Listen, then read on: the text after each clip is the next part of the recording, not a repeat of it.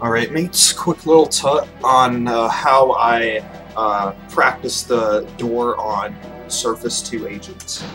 Um, so first, I would put on some cheats, invincible all guns, vulnerable, infinite ammo, slow animation.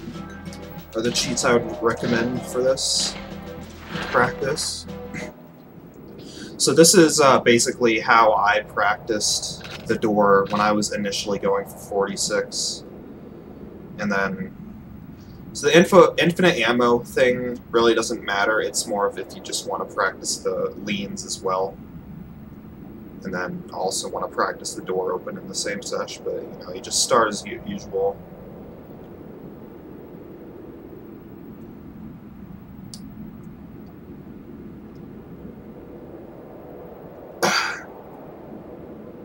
See if I can hit a lean first try, that'd be funny. Oh wow. Look complete? Nope. Alright, anyway. So I'd be up here, um, I'd get in the spots, which is about, uh, not quite at this corner right here. Like, not quite here, just a little bit forward. I'd go into, I would double crouch. game wants to, or, I guess it's GoldenEye, so just crouch fucking PD brain. Uh, anyway, get out my uh, PP7. And basically, I'm standing here. I'm press. I'm gonna start pressing B, like really wide, looking to the right. I'm gonna start pressing B, which I'm doing right now, until I hear the door open. So pressing it. And if you don't hear the door open, which it should have by now, you probably need to go a little closer.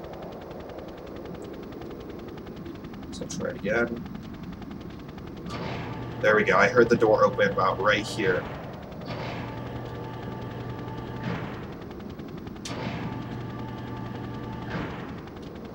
Okay, so didn't open there, so this is about here. And then I'd look straight down and then with my gun, with my bullets, I would make a line up like this. And then I come from the left side and do the same thing. Press B until I hear the door open. Right here.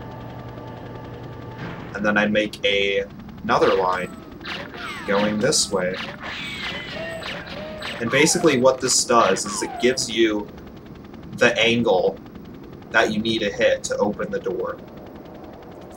And so now what we can do is uh, we can just uh, come up here and switch to mines if you want, since that's the um, that's the weapon you'll have out when you're doing this. You can come up and practice the door like this. There we go, I got it.